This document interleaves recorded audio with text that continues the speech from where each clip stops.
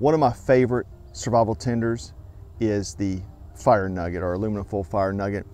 You essentially use a piece of aluminum foil cut in a square, a cotton ball, and you just put it in some petroleum jelly. So take a big old glob of petroleum jelly and work it in there. We're gonna put it in here. Now we're gonna fold this into a little square here. Now you can carry this in your kit, stuff like that. So it's waterproof. Now to use it, what we're gonna do is make a slice, like an X, on the top here, and pull out some tinder material that we can light.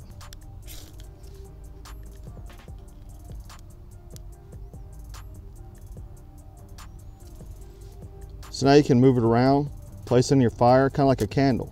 Then you can put it out and cover it back up and save it for another use.